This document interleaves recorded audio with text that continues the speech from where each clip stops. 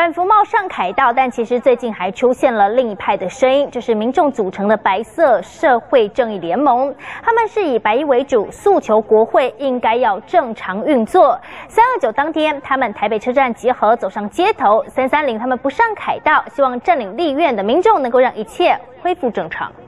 跨过国会，狂战民主。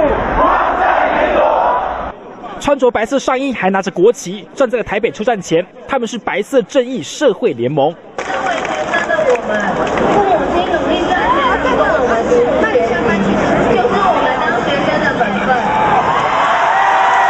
和穿着黑衣的太阳花学运民众诉求不同，他们反对的是学生占领国会。太阳花学运展开至今，我们一如往常的上班上课，不是因为我们不关心不爱护台湾。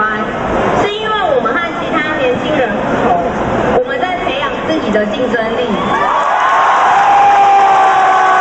主张白色表示民主开了灯。联盟二十四号成立，二十九首都在台北车站聚集，就有超过三千位的民众参加。因此，我们诉求国会照常运作，学生回学校上课，让所有的一切恢复正常。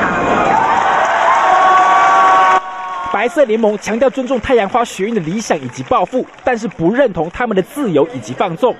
其实二十九号晚间与大道像倒的，但是大家都不走，大声唱起了国歌，代表另一方的心声以及坚持。